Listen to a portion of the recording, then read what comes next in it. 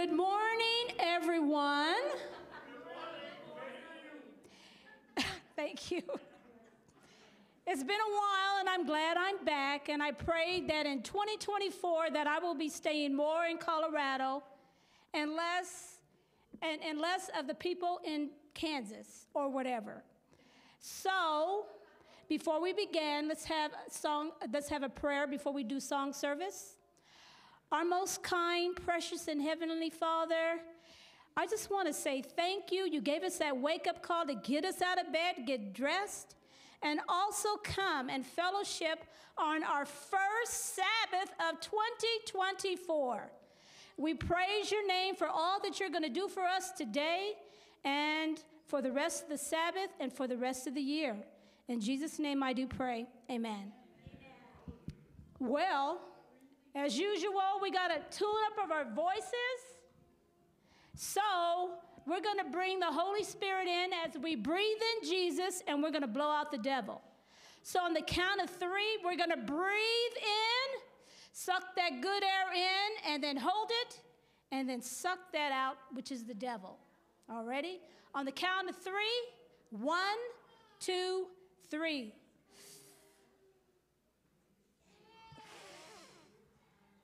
So do it again.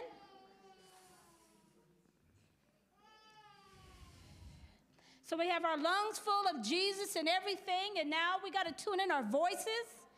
And back uh, in the day, we used to sing where we would have to finish the line. So I would sing a first line of the song, and the audience would sing the second part of the song. And when I, there's three songs, so the first one is very easy. Jesus loves me, this I know. Thank you. The next one is What a fellowship, what a joy divine. And the last one is Blessed assurance, Jesus is mine.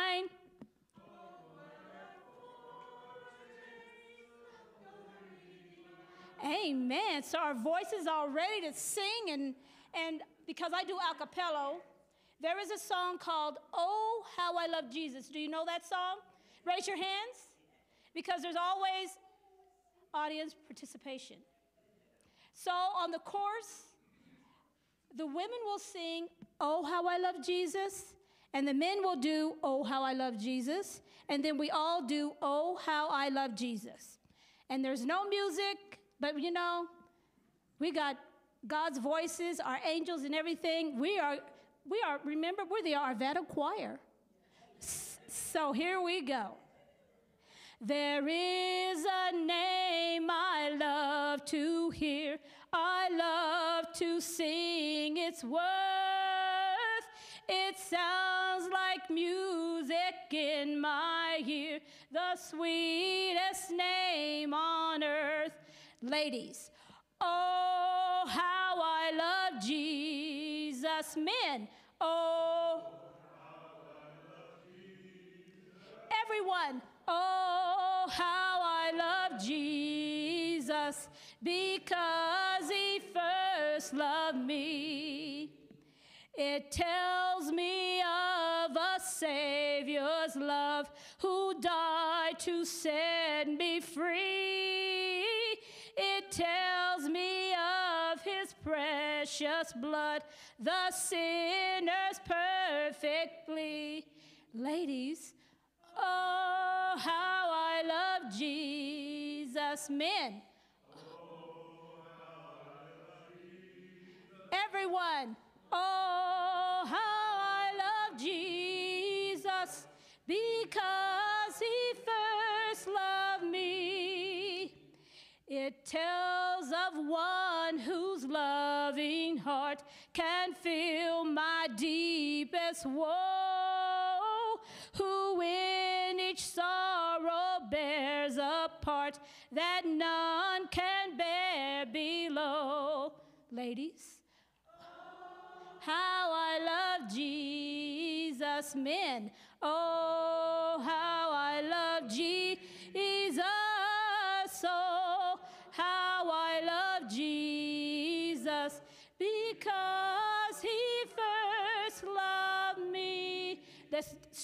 on the last one.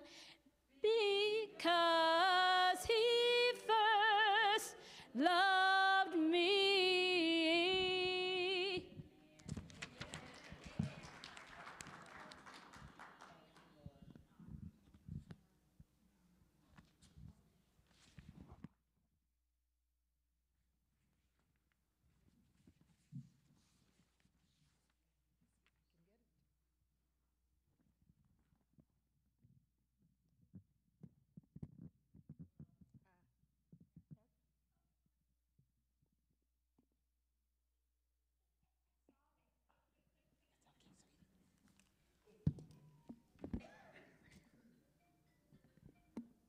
Happy Sabbath.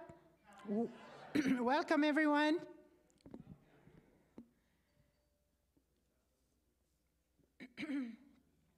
the Lord is my shepherd. I have all that I need. He lets me rest in green meadows. He leads me beside peaceful streams. He renews my strength. He guides me along right paths, bringing honor to his name. Even when I walk through the darkness valley, I will not be afraid. If you are close beside me, your rod and your staff protect and comfort me. You prepare a feast for me in the presence of my enemies. You honor me by anointing my head with oil. My cup overflows with blessings. Surely your goodness and unfailing love will pursue me all the days of my life, and I will live in the house of the Lord forever. Amen to that, that's for sure. We have, we have so much to um, be able to um, read God's word, put it in our hearts, put it in our minds, so that when the time comes, the Lord will bring it back to remembrance. We need that every day, don't we? God is good. Amen. And we pray that each one of us can put our, our, all our needs, our prayers, and everything into God's hand, for He does answer prayers, and He is real. We're going to pray for each one of us, for each one of our extended families and friends, neighbors, and um, so many of us have families and friends, and us, we're going through a lot sometimes. We're attacked by the enemy. We know we can feel it, but God is good all the time, and He does take us through whatever it is. Let's bow our heads. We pray, dear Jesus, for your wisdom, knowledge, and strength in the things ahead. Thank you, Lord, for this beautiful church that Arvada has, and, and it is for each one of us to come and praise you and serve you. And we pray, Lord, in heaven for guidance, strength, courage, encouragement. Help us today to listen to God's word and help us for the rest of the week, every day, for us to listen to God's word, to read God's word, for we know that Jesus is coming soon. One day soon, he will come. Some of us will be in the grave waiting for Jesus, but we want to be there and we want to make it home to live with Jesus forever. Be with each one of our neighbors and friends, extended families and friends, and um, we pray, Lord, in heaven that each one of them can um, be able to give their hearts to you too, so that we can all meet in heaven with you one day. This is our goal. Thank you, Lord, for your love. Help us to listen to the sermon today and for us to take something in our hearts and mind, take it home with us, and do something about it, we pray. Guide us and keep us safe. In Jesus' name, amen. Have a blessed Sabbath.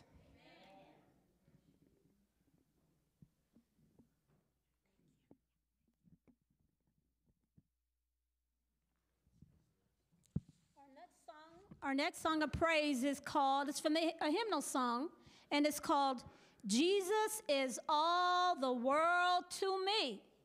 What about with y'all? Can y'all say Jesus is all the world to me? All right, thank you. Okay, sorry.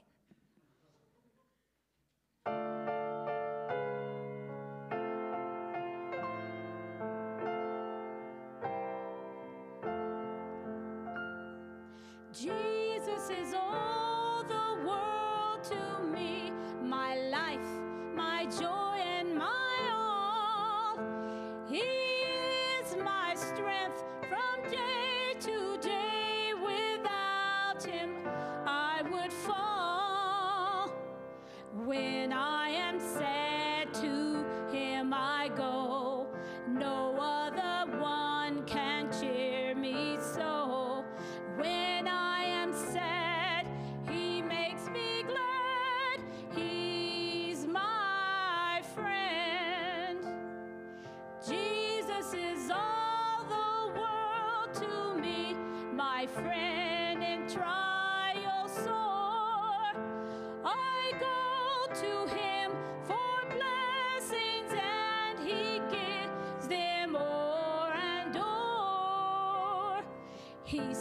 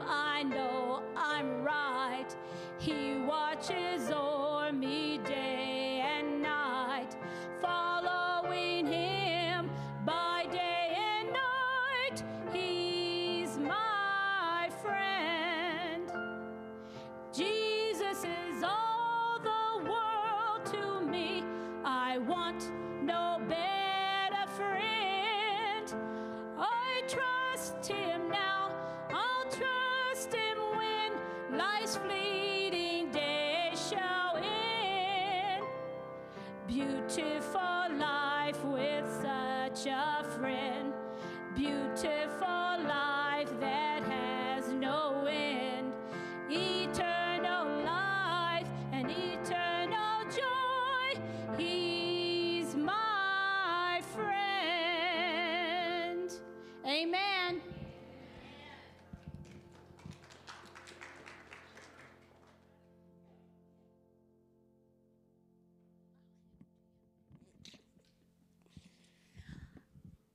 have already been so blessed this Sabbath.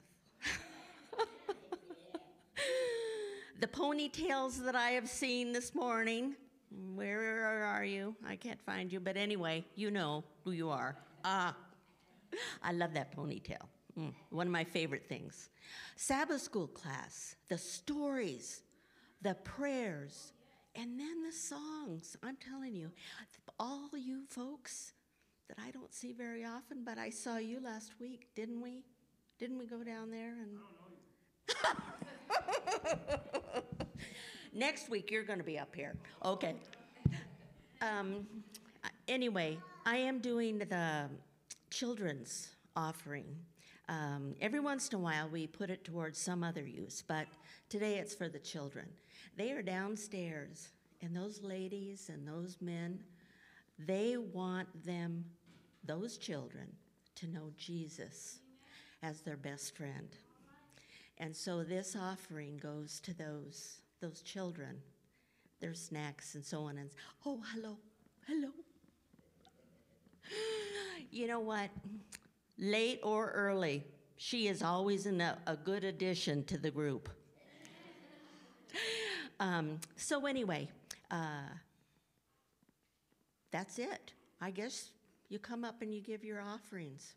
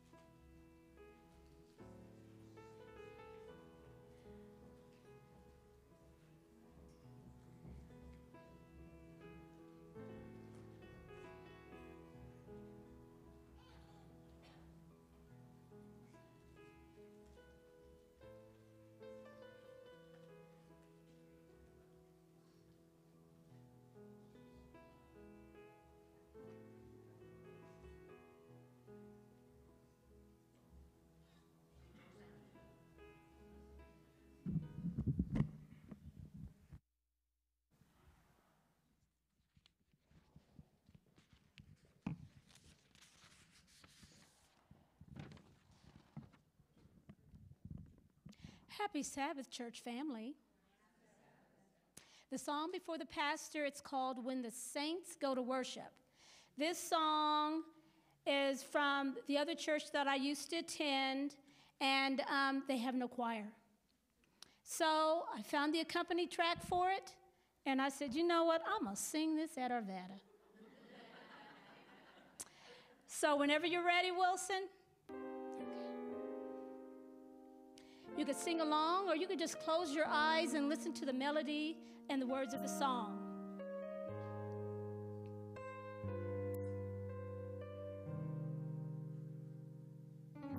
When the saints go to worship, that's when the King of Kings will come in. When the saints go up in praise, that's when the Spirit shall inhabit this place.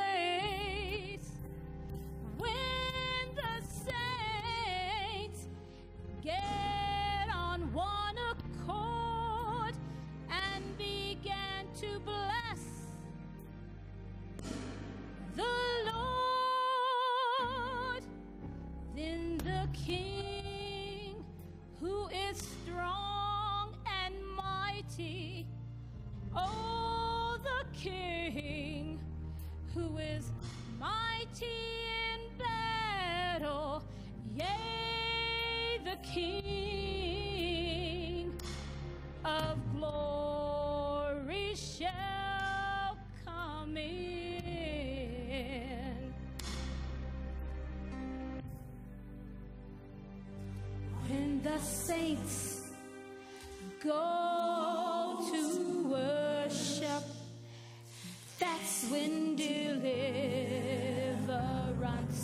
will take place. When the saints go up in praise, all Satan's powers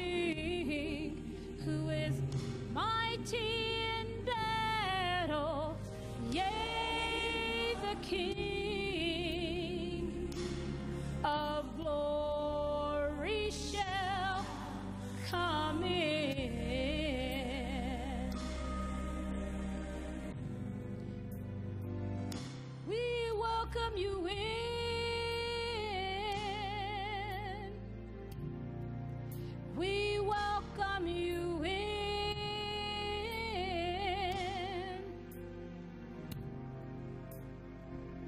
You're the king, and you're invited to come in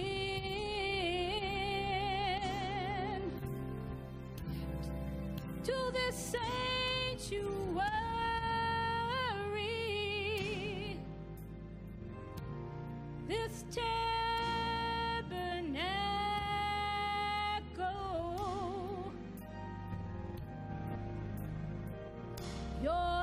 king,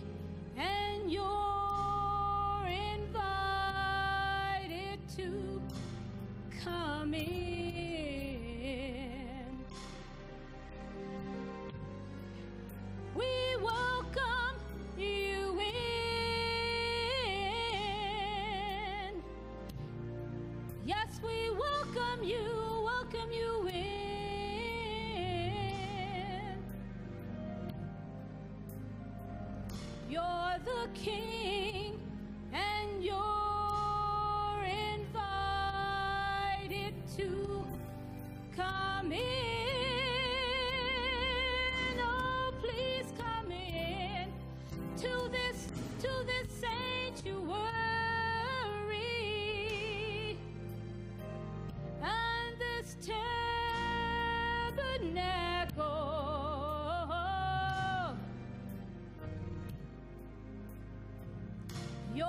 The king.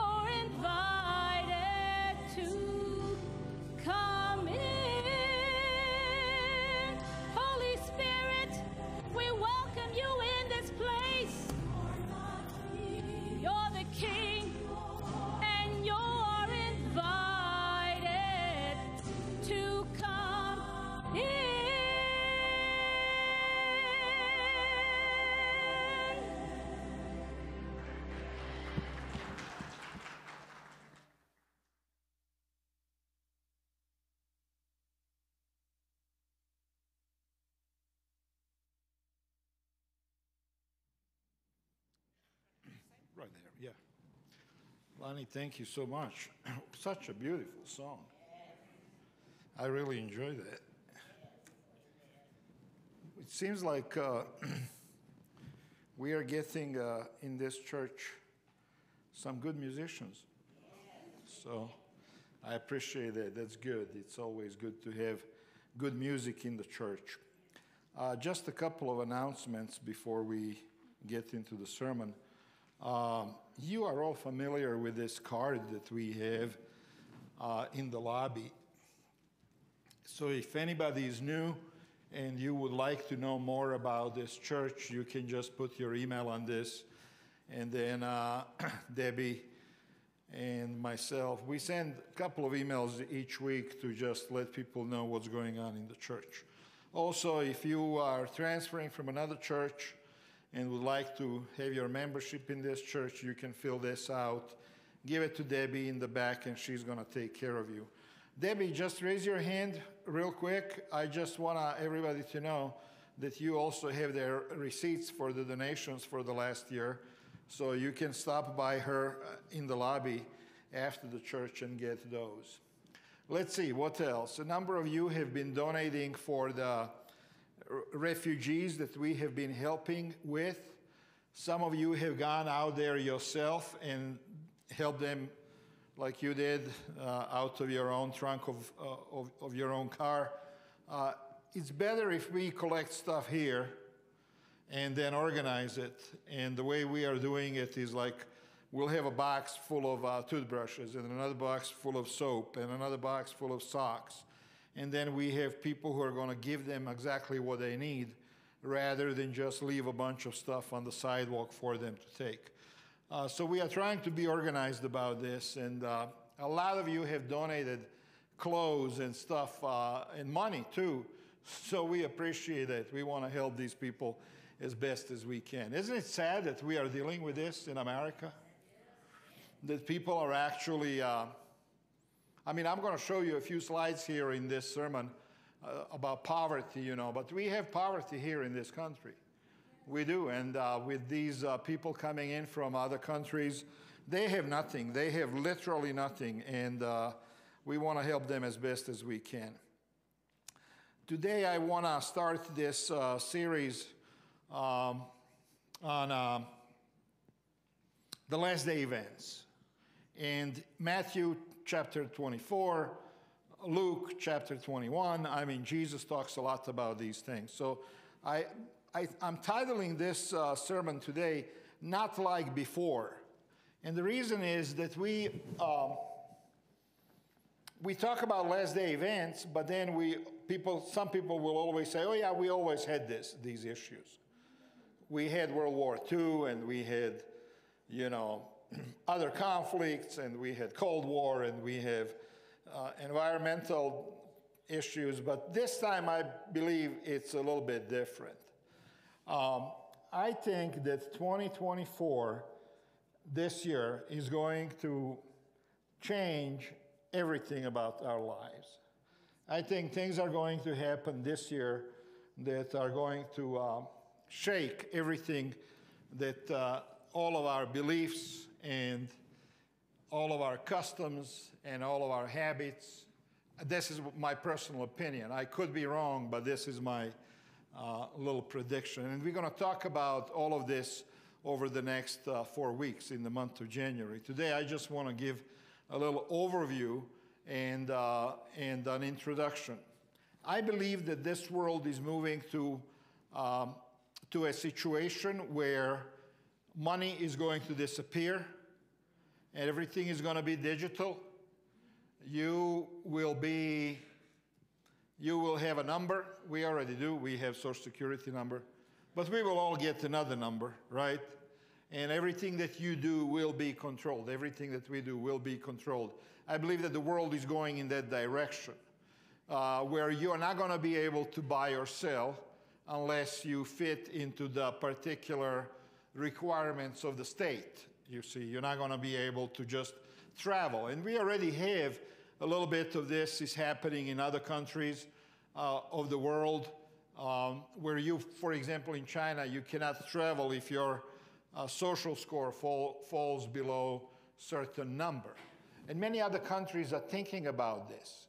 They're talking about vaccinations, they're talking about environment, and I want to give you some issues here that are going to cause all of this to go forward because you can't just make all of these changes without any reason.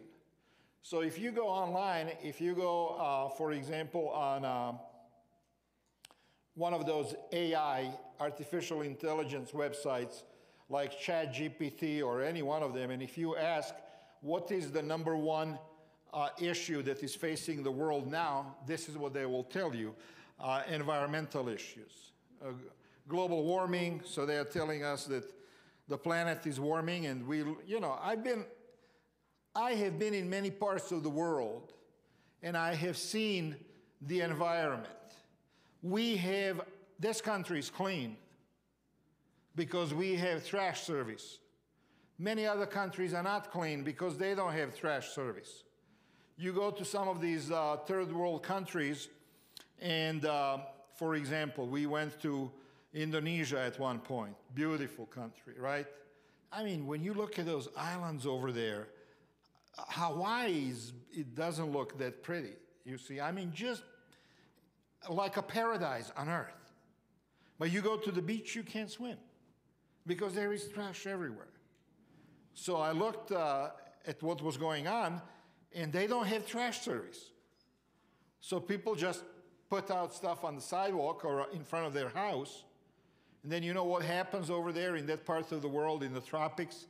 I was sitting in front of the motel one, one day, and all of a sudden, out of the blue, the sky opened and the rains came pouring down. And it was like buckets of rain.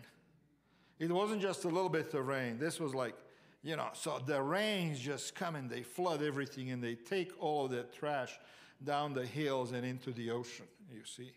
And uh, on the, my second trip to Indonesia, Kim, you were there too. We went to this island, I mean, as far away from the civilization and you could, as you could imagine. I mean, this is on the, on the northern tip of Australia, away from everybody, and you go and you see these beautiful, gorgeous islands, and then you go to swim, you know, and on the bottom of the ocean you see Coca-Cola cans and you see trash, you see, because, so, so this is an issue, pollution. Is the world warming up? I believe it is. Is it warming up because of um, man-made or because of natural? I don't know. It's warming up. We know that because the seas are rising. Extreme weather events. I mean, I'm talking to friends of mine in Florida. They, the, at night, it gets down to freezing. And they never experienced this before. And so things are changing. And people who are in charge, they're looking at all of these things and they're saying, look, uh, global warming, we need to start having less people on this planet. We cannot have seven, eight billion people demanding energy and demanding resources. We need to do something about this situation, you see. So they're thinking, how do we control the population, eight billion people? How do we control people so they don't eat all the fish that's in the ocean?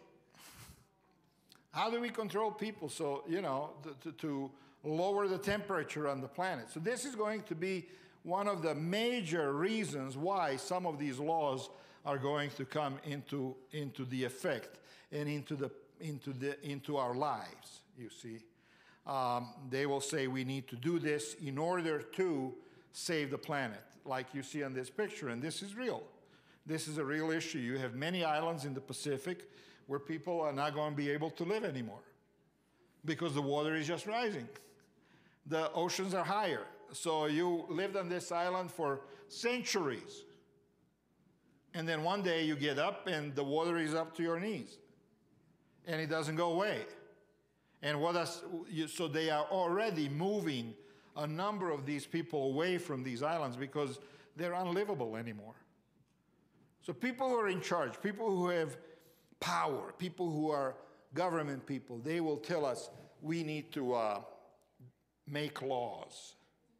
We need to make rules. We need to control what the population is doing. And you're going to hear this idea of control. And once you hear that, where does this go to?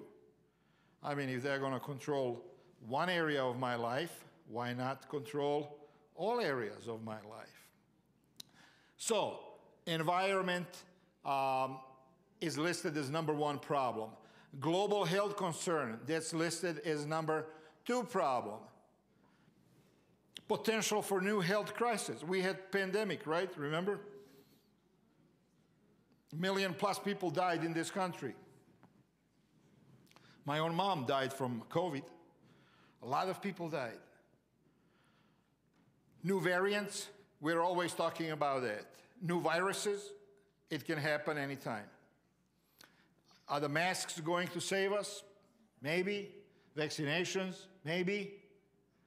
Um, do we have hospitals that can help everybody if something happens? You remember what happened last time, right? Um, I don't know if I ever told you this, but when my mother was in the hospital in Sarasota, they called and they said, well, we, you know, she's going to die and we don't have room in the hospital. I said, What do you mean you don't have room? We don't have room. We have thousands of people who are on respirators and who are, and you know, you need to move your mother to a hospice just for COVID people, you see. Hospitals were not able to handle all of the people that were sick back then. Literally not. The, now that's America. What do you think is going to happen in some of these other countries? Where you have one clinic per half a million people. You have one clinic in the countryside, and there is hundreds of thousands of people out there. So these are serious issues that are, that are taking place in this world. Are we going to be able to face it? How are we going to handle it? What laws are going to be passed you are, you know, we had this uh, debate here in this country about vaccination. Should it be uh, mandatory or should it be voluntary? Well, the chances are very strong that the day is coming when it's going to be mandatory. whether you want it or not, regardless of how you feel about it, you see. And some people say, oh, yeah, we all need to have it because it's going to help us all to survive.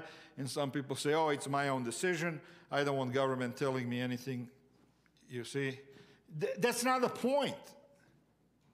The point is that you have the governments who have the power to make the law, laws like that. They have power. They can say, yeah.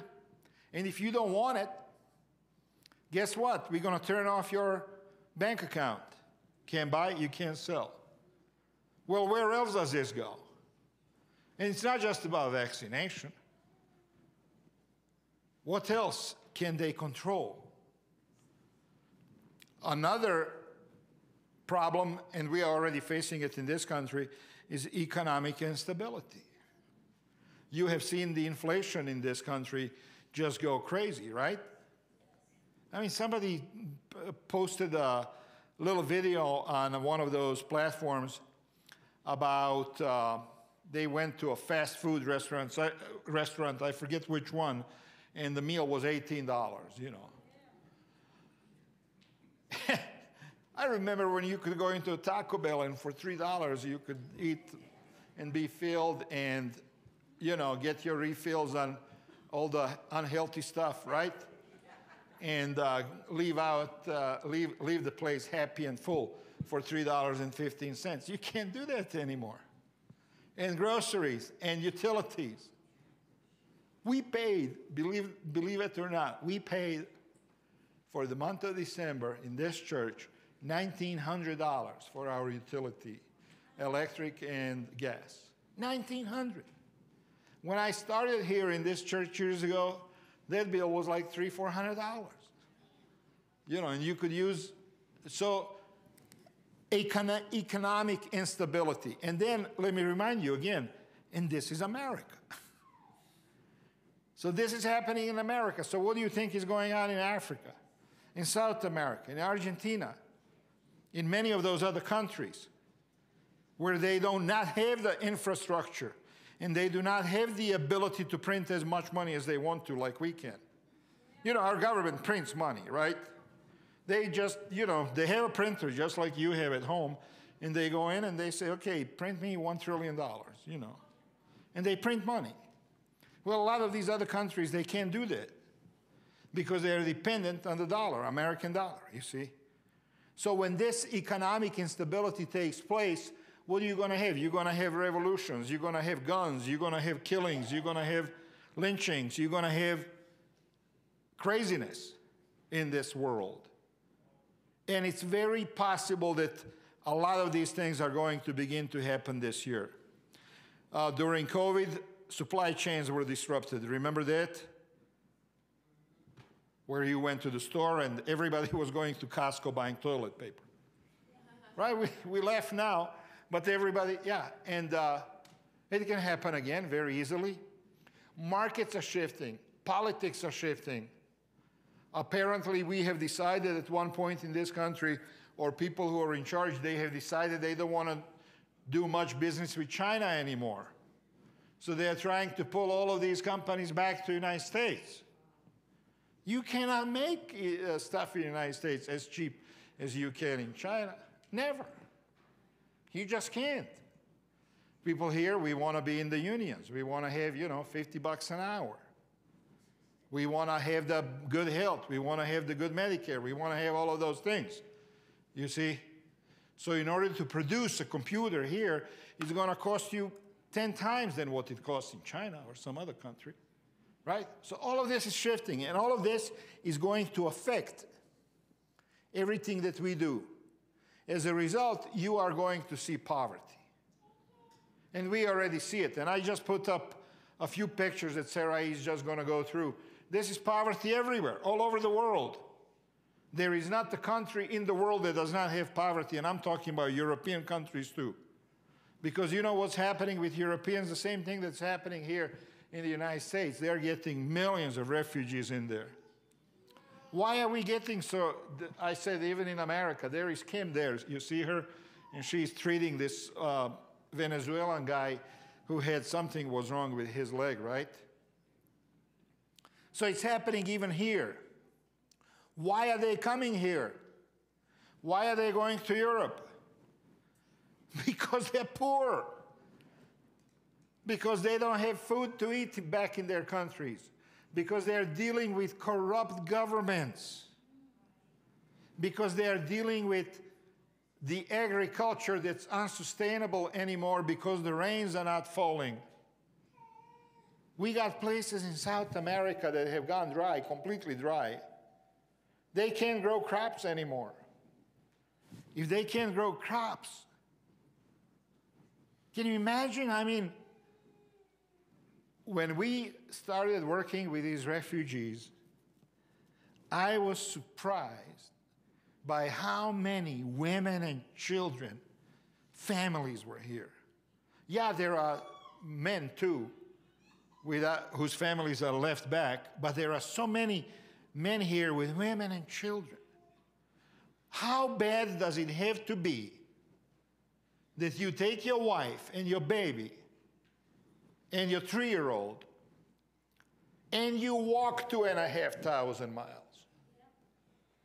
with a plastic bag from a grocery store with all of your belongings in it? How bad does it have to get in your country? I don't think that we even understand the full scope of what's going on in this world.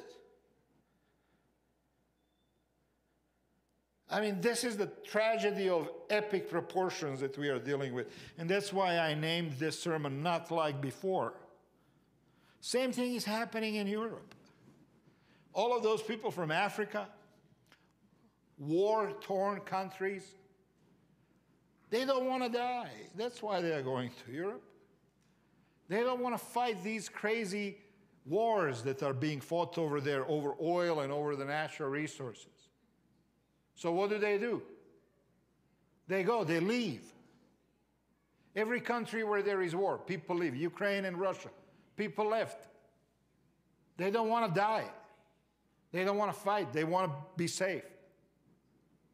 So, millions and millions and millions of people are now walking from one end of the earth, from one end of the planet to the other, trying to find safety and a loaf of bread and possibly a job. This is, this is going to have a huge effect on us. I told Lou, Lou, that's Lou right there. He just walked into the church. Generally, he's not late. I'm just kidding. But when we, when we started the Spanish ministry years ago, Lou was our uh, front guy. You see, he helped to start the Spanish ministry. And I called him up the other day and I said, Lou, do you realize how many Venezuelan people are coming to Denver? Thousands, tens of thousands. I wonder how many of them are already Seventh day Adventists. There's got to be some. And I said to him, I said, well, is anybody in this conference, in the Spanish church, in the Spanish leadership of the conference, even thinking about starting a Venezuelan Seventh day Adventist church? Because Venezuelans are different than Mexicans. It's a different country. you know, I mean, they can go to a Seventh day Adventist Mexican church, and they probably do. But so we, me and him are having a conversation about that very topic. What if we had a Venezuelan Seventh day Adventist church in one of the classrooms here? You know, working together with our other Spanish people and trying to help people in more than just giving them food. You follow me? Trying to help them find a job, get their own apartment, get the kids off of from under those tarps, you see, and having a, a normal life. So, this is all coming to bear on us this year, and it's going to get a lot worse than it already did. I think what we have seen in 2023 is just the beginning of troubles. Just the beginning of troubles. Next one is resource scarcity and energy transition. Um, people who are in power, they want to transition from the gasoline uh, and coal and uh, to, to a renewable, renewable energy. That's what they want to do. It's not that we don't have, it's not like we are running out of oil. We're not. There is plenty of oil in the ground, there is plenty of coal in the ground. But they are saying, you know, it's dirty and it's polluting and all of that stuff, and we need to go to something cleaner. On the next slide, you have the picture of the wind and the nuclear and the solar and all of that stuff is coming in, you see. They want to change it. They want to change the whole system of how everything works. No, not, not yet, not yet. That's the next one. Stay on this one, yeah. Stay on the nuclear and the wind. I would love to put the solar power on the gym over there. Be, I just told you we spent $1,900 just in one month. Imagine that's over $20,000 a year just for electricity that we are paying. But how is this going to affect you and I? It's still going to, you, you're still going to have to pay. They said when the electric cars were coming in, oh, electricity is going to be so cheap and you can. Well, now I'm reading more and more and it says that it's getting up there, you know. I mean, you have an electric car and maybe it's not as much as to fill it up with gas, but it's you got paid to drive. Nothing is going to be free.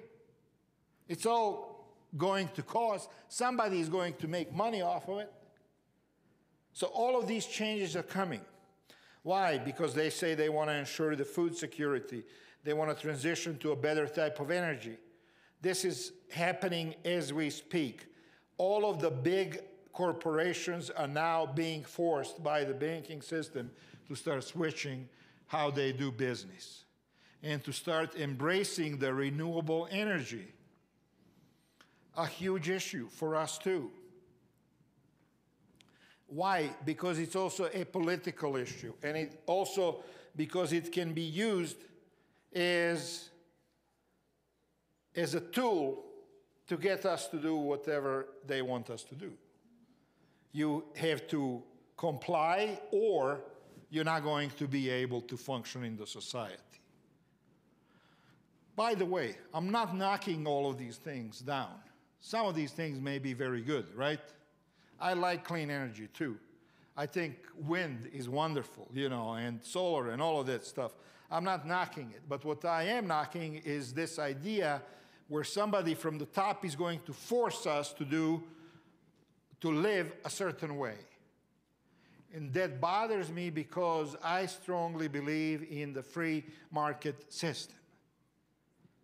Look, if you come up with a car that runs on electricity and I can get 800 miles on a charge and it's going to cost me 20 bucks, yeah, I'll buy that car. I'll buy that car. But that's a free market system. You see what I'm saying? That's not somebody telling me you have to buy that car and you have to get rid of your big old SUV, you know, you, have to get rid of it and you have to buy. No, I don't want you to tell me what to do. If you give me a better product, I'll do it. Right? I mean, that's how it always was in the human history. You know, women used to wash clothes by hand, right? And then somebody invented a washing machine. And guess what? Everybody wanted one. but nobody told everybody you have to buy it. If you want to have food, you know, in your house, you have to buy it.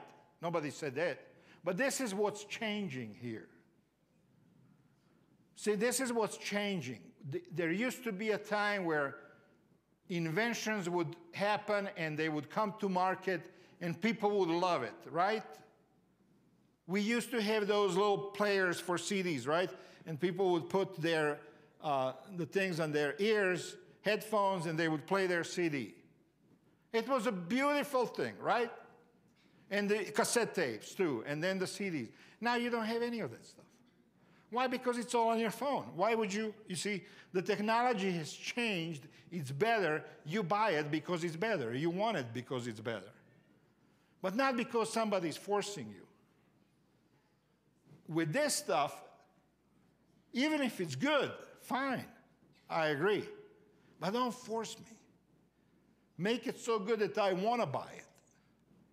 Make it so good that I want to connect my house to it. But don't force me. And then the idea of forcing is I mean, they can prevent you from living your life the way you want to live if you do not go along with all of these rules. And I think this is something that I wish the young people would understand.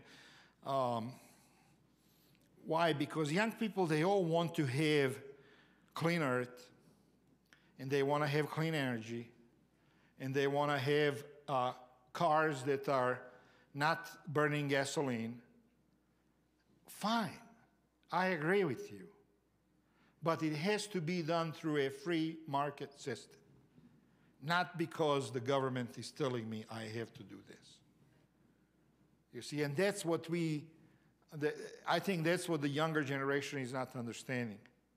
It has to be done from your own free will, not because somebody is telling me you have to do it this way, and if you don't, then these are the repercussions. Political and social divisions and unrest, and I put up this picture. I don't know if you can see it clearly, but uh, it basically shows, you know, the left and the right fighting with each other in America. And this, this, this has become just normal anymore, right? It has come to a point where children don't talk to their parents, brothers don't talk to each other. Joanne and Sandy, they agree on everything, so they're fine. we don't have to worry about them. but you know, people just start disagreeing on this politics, you know, and who they're going to vote for, and which party is better for them, and which candidate is better for them and then you have this, this huge animosity and anger. And people are now talking in the United States about the Civil War and about, you know, picking up a gun and going against one's neighbor. People are seriously talking about this stuff. Because of what? Politics. Politics, thinking politics. Politics should be something, politics should be something that you never even hear about. Politicians should be people that you never see or hear. They should be people who do their job and make sure that the potholes are filled and make sure that the water system works and make sure that the trains and buses run. But all of a sudden, they have, instead of all of that, they have become the second Hollywood, the entertainers of this world. Everybody's following what politicians are saying and doing. It has become a whole new segment of entertainment. Some people don't even watch movies anymore because they just follow politics. They get plenty of entertainment right there, you see. And it's, it has totally divided this country. And it, it's, we, the, you know, we have elections this year. It's going to get worse. It's going to get worse. Then uh, another one is geopolitical tensions, international relations. Um, we see this right now. We see this, these wars between Russia and Ukraine. We see a war between Israel and Palestinians. We see all kinds of noise about Taiwan over there uh, with China. Uh, in Africa, there are wars that nobody even talks about anymore because all of these other wars are more prominent, right? But people are dying everywhere. Jesus said country is going to rise against country, nation against nation. We have trade disputes. We have conflicts that can just escalate overnight. I mean, who, who, who could have foreseen this thing that happened in Israel, in Palestine? One night, everything is fine. Next day, next day, a genocide thousands of people dead, you know. I think by now they're saying that over 30,000 Palestinians have been killed, 10,000 children. They're talking about a complete expulsion, ethnic cleansing of Palestinians from Palestine forever. You see, this has a potential to just escalate where you have all of these other countries coming into play, like Iran and Syria and Egypt and you name it. And big countries too, like Russia and China. You see. Some of this is waiting for us this year.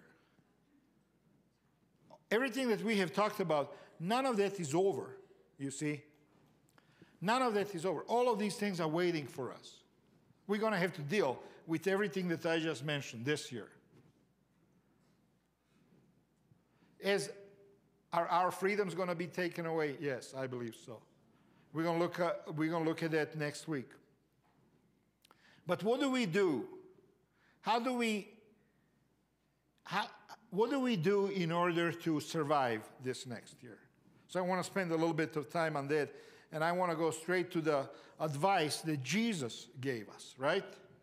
Uh, in the Bible, because Jesus clearly talked about the last day events. And one of the things he said, one of the first things that he said is, do not be alarmed. Because after you hear everything that I have said, you may become alarmed, upset, worried about the future. But look at what Jesus said in uh, Matthew 24, verses 6 through 8. He says, You will hear of wars and rumors of wars. You all know this verse, right? You will hear. And we are hearing that right now. And he says, But see to it that you are not alarmed. So, in other words, it is my responsibility not to be alarmed. See to it. So, how do, how do you see to it? Well, one of the ways is to be in constant relationship with God. One of the ways is to be in prayer. One of the ways is to be in the Bible. One of the ways is to be in church.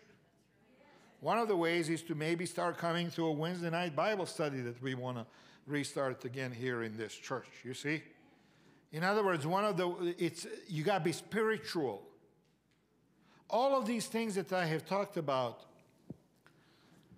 physical, material, money in order to survive everything, we have to focus on the spiritual. You have to focus on your do you know God? Do you have a relationship with God? When was the last time you prayed to God earnestly and with the knowledge that He heard you? How do you even pray to God? I mean, we got people in the church, and I talk to people all the time, young people, a lot of times, you know. How do I pray? How do I know if God is hearing me? How do I know if God even cares about me? How do I know if God sees me? We, all of these things we see. We see countries, we see wars, we see panic, we see inflation. But there are things we don't see. There is a spiritual reality that we do not see with our eyes. We do not see even if we put glasses on. I mean, in this very room right now, we don't see everything. Who is in this room with us today? We hope it was God, right? Just like you sang. We invited God to come in here. We invited Jesus. We invited Holy Spirit, right? But when we leave here, who are we going to live with? You see, who, who follows us the rest of our days? Is it Jesus or is it somebody else? How do we live our life? If, you, if your eyes had the ability to see the spiritual reality, who would you see in your life would it be the powers of God or would it be the powers of the devil? Would it be angels or would it be demons? Would it be the Holy Spirit or would it be the spirit of Satan? And that is determined by our actions. And is determined by our free will. Who do we choose? When we get up in the morning, do we spend time talking to Jesus? Do we bother? Or, or are we too busy? If you are not, if you and I are not actively, consistently, deliberately, systematically, on a regular basis, asking for God's protection and asking for Jesus to be near us, then your enemy and I, my enemy is going to take that opening and going to come into our life, lives, lives and cause chaos. And that's why we need to have a more vibrant, intimate talk with Jesus than just, oh, please bless this food and the hands who have prepared it. You see? Our prayers should not be just what we have learned as kids and then just repeat, repeat, repeat. It needs to be deeper than that. If you're not asking for, well, like the guys that we have in this church who are volunteering today, right now, to be our security guys. And they have a vest and they put it on, and it's orange, and they're walking around the parking lot and in the lobby, right? And if a bad person comes around and they see one of these guys, Justin, for example, you know, he's a big guy. They see him with his vest, they'll think twice. But if they don't see anybody, if the property is empty, nobody looking after it, nobody protecting it, they can steal another truck like they did when nobody was looking, right? Because when they sold their truck, there was no security guys walking around. So the bad guys took up an opportunity. If Jesus is not in your life, Satan is going to take that opportunity. It's as simple as that. And that's why it is important to have Jesus in our life all the time. All the time. Jesus says, Nation will rise against nation in verse 7, and kingdom against kingdom. There will be famines and earthquakes in various places. And then he says, All these are the beginning of birth pains. In other words, everything that we are seeing right now and that we are experiencing right now is only the beginning of the troubles that we are going to experience. But he also said, Do not be alarmed. See to it, make sure that you're not alarmed. In other words, it's my responsibility, it's your responsibility not to be alarmed. Another advice that Jesus gave, and we have three more be vigilant and watchful. In Matthew 24, he says, Therefore, keep watch, because you do not know on what day your Lord will come. Again, what does that mean to keep watch? I mean, spiritually connect to God. Spiritually know if He is in your life or not. Keep an eye on things. Don't panic, Jesus says. Don't panic, but keep watch. Why? So that you know when, when the rough times are coming. Are you keeping watch? Or are we distracted by all of the things that the life has to offer and uh, by all of the problems of life? So we have to keep watch. To keep watch, it means every once in a while you got to step outside of the house and look into your backyard. You keep watch. You know, make sure that nobody's coming. Make sure that everything is safe and in order. Number three, Jesus says, avoid deception. Watch out that no one deceives you, Jesus said. For many will come in my name, claiming I'm the Messiah, and will deceive many. One of the things that we are going to talk about in this series is, um, and I know this sounds crazy, but uh, is this whole thing that's happening with uh, uh, in the news with uh, the aliens and disclosure. Yeah, you're not going to hear too much about that stuff in the other Seventh day Adventist churches, but you probably will hear. Um, uh, they say, I don't know how many of you follow this kind of stuff, but I do. And basically, basically, the news is that we are going to find out that we are not alone on this earth. Some of us already knew that, right?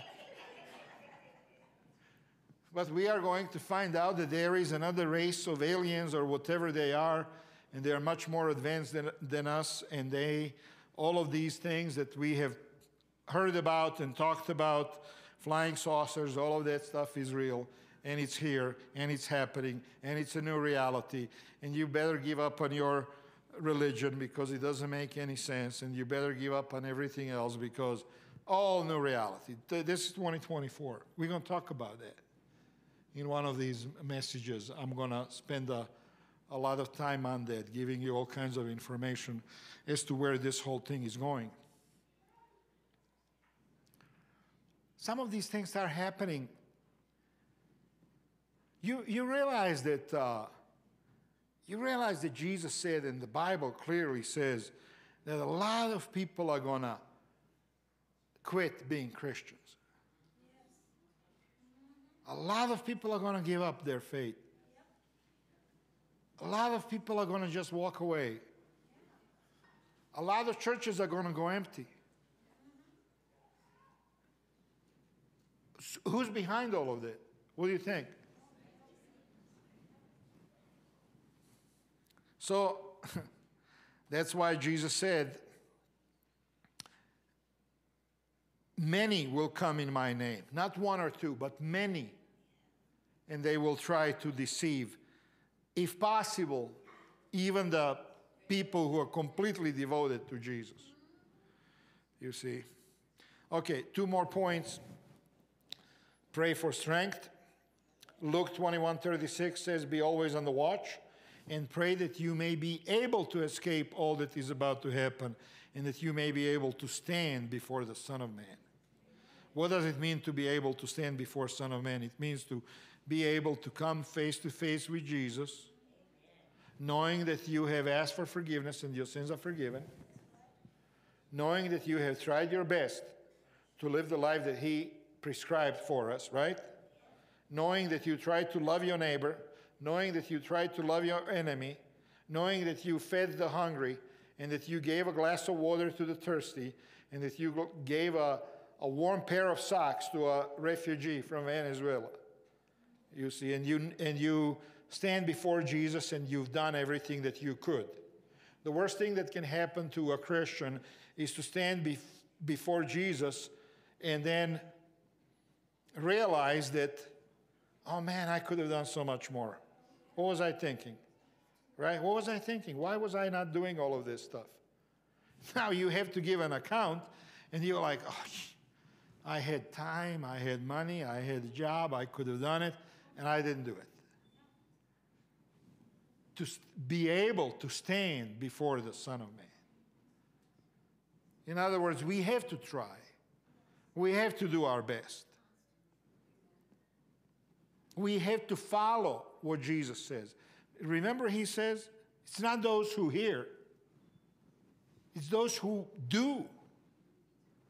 Man, every Satan here, Satan knows the Bible better than any one of us. Right? But it's not the hearers, but the doers of the word. And then number five, and last one, spread the gospel.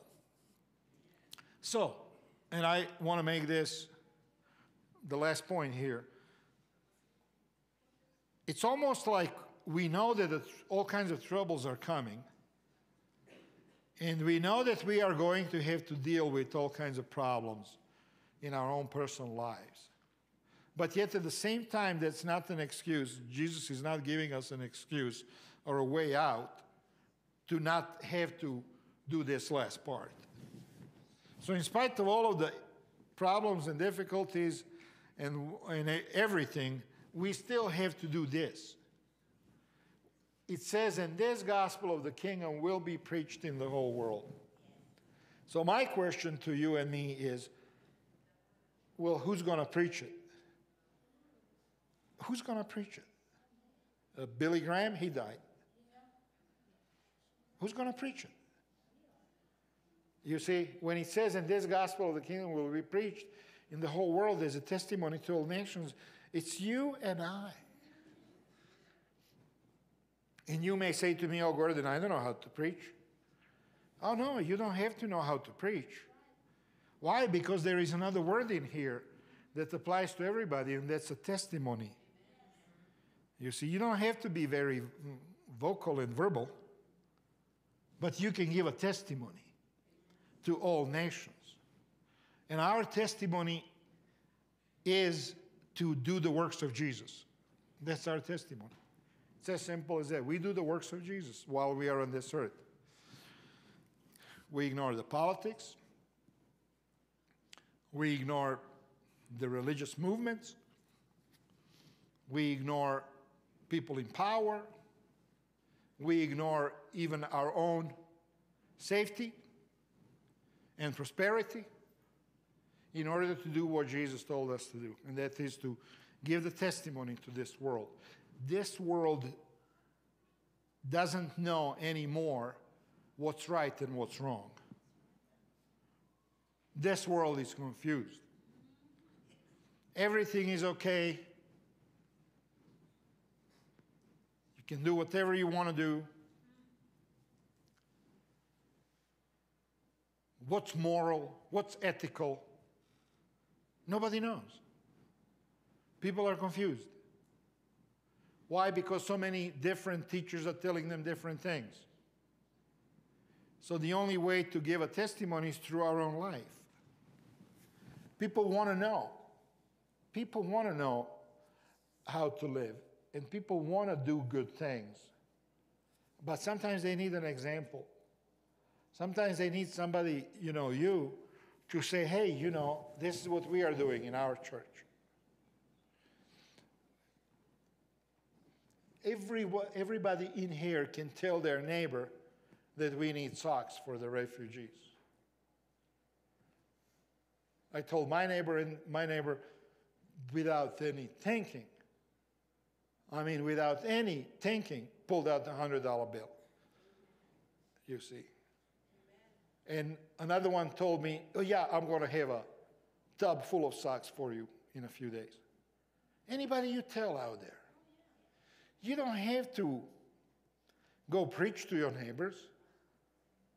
Just tell them, hey, we are helping these people. Not just people from uh, South America. We have plenty of our own homeless people here. You know how many veterans are out there on the streets? People who served their country, went to wars, came back psychologically damaged. Nobody cares for them. Nobody gives them nothing. They find a tarp and they live under a tarp under a bridge. So I say, as a church, we have an opportunity to, uh, to do this for people, but also to do it for the other churches as an example. There are so many other churches, Adventist churches and Baptist churches and many others who also want to do good things. Sometimes they need to see somebody who is already doing it. And they need to go back to their home church and say, hey, you know what? Those guys at Arvada, they just fed 400 people. Why don't we do something? So you don't know what a few words of your own testimony will do and what effect they will have, not just on, on one person's life, but on a whole bunch of people. Because you can tell somebody that you don't even realize, that you don't even think is going to do something great. And they'll tell somebody who is going to do something phenomenal. You see, but the word has to go out. The word has to go out. The word has to go out that in this church we are trying to help people and we are trying to get as close to Jesus as we can. Every single one of us to live the life that Jesus wants us to live. I hope you can come back next week because we'll continue on this on these topics. Amen.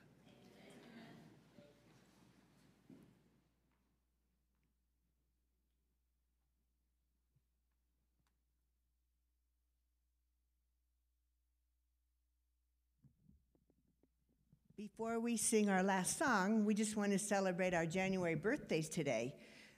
Um, you'll see how many, these are our members. We have every month, it's like we have so many birthdays, so it's hard to break them down anymore.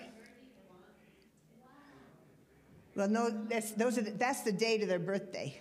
That's the date of their birthday. So there's like 40 some, I think, on there. Anyway, these are all of our birthdays. So let's sing happy birthday to all these people.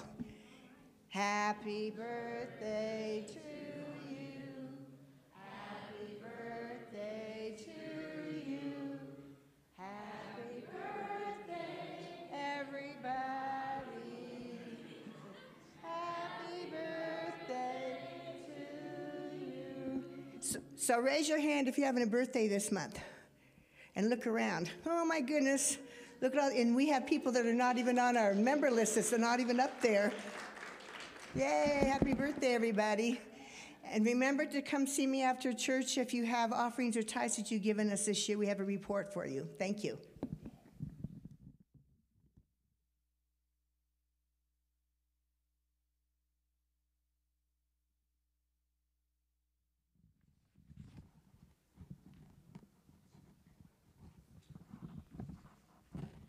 I want to thank Pastor Gordon for giving us the word, giving us the knowledge of what's going on these last days and how we, as Christians, how we can become better Christians, for we want to be in that number when he comes again. Well, in November, we I did a last song called Be Blessed. I don't know if y'all remember that. Where at the end we had the men and women sing. Well, guess what? We're going to sing it again. called Be Blessed.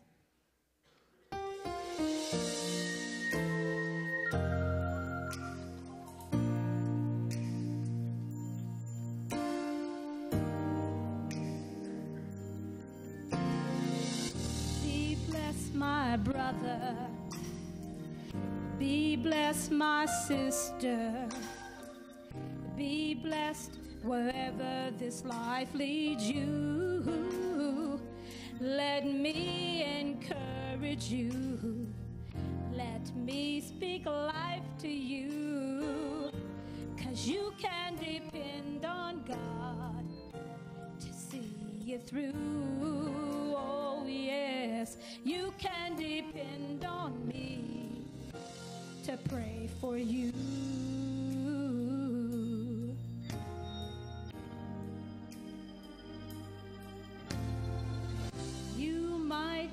Hurting and you might be crying. You might be worrying and frustrated too. Let me encourage you. Let me speak life to you. Cause you can depend on God to see you through. You can depend on me to pray for you.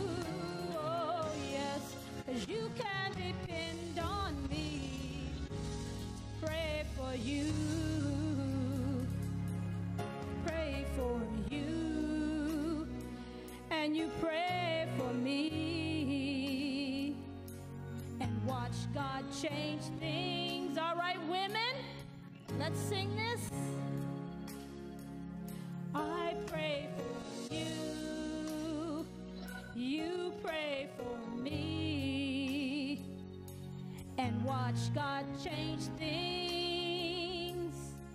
All right, men? I pray All right. You pray for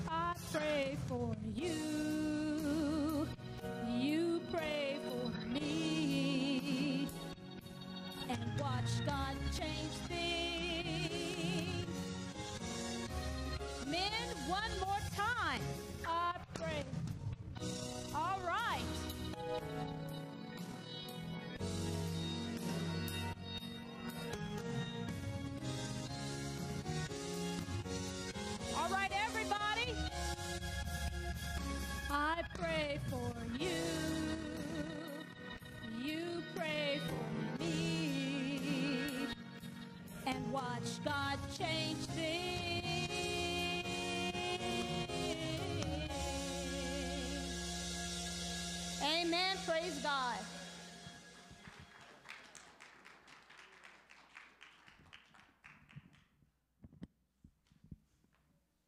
Oh, it's been good to be here today. We are blessed with such beautiful music and a program and a beautiful sermon by our pastor. Let's pray. Our loving Father, we just want to thank you that the Spirit doesn't stay here, it goes with us. And we just pray that we'll feel your presence more deeply this week for having been here on the Sabbath day with our friends, with our family with new friends. Lord, keep us all safe, keep our families safe, and may we return once again to praise you on the next Sabbath day. In Jesus' name, thank you. Amen. Happy Sabbath, everyone, and we'll see you next week.